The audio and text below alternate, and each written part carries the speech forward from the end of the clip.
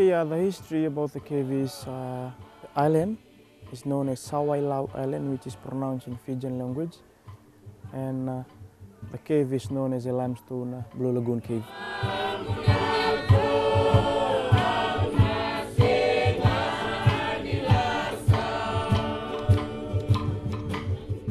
Okay, um, the myths of the cave has been mentioned is uh, uh, the owners of the cave is a 10 head god snake.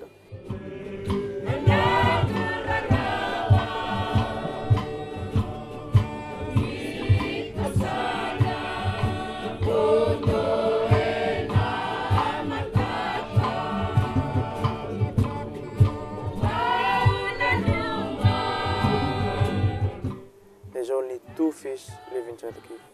Small freshwater eel and a small red sea snapper, which is the owners of the cave.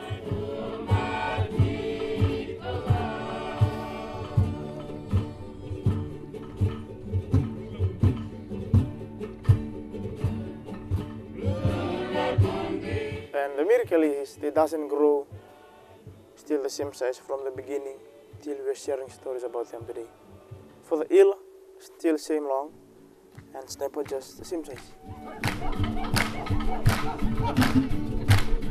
And uh, the cave is uh, compiled two cave today.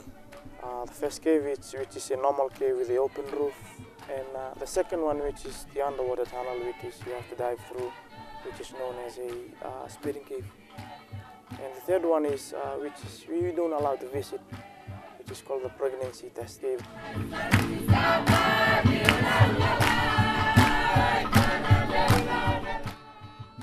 Okay, for the pregnancy test cave, um, it means that it happened today.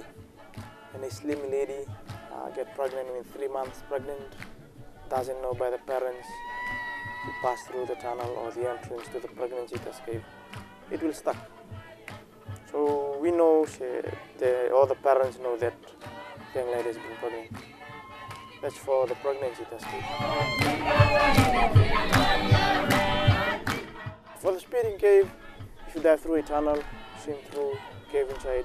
If there's a tunnel inside the cave, in the olden days, usually a farthest speed on the top, the saliva comes to the tunnel and hits the water, makes a big sound. That's where the name coming from, the speeding cave.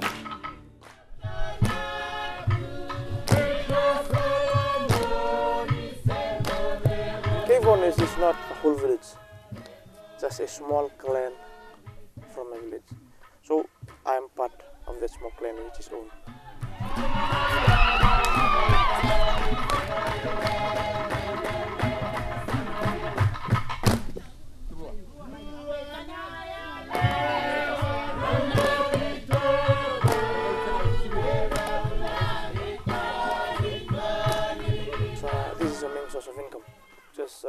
Guide the tourism around in the cave. So uh, I enjoy the job in the cave.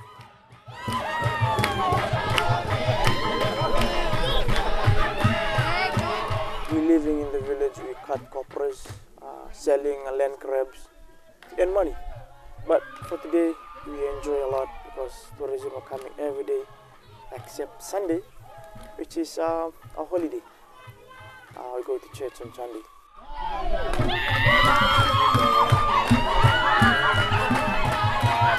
If you're present in some days in the cave, you can sing, I have been to South and I have been to Fiji because you're present inside the.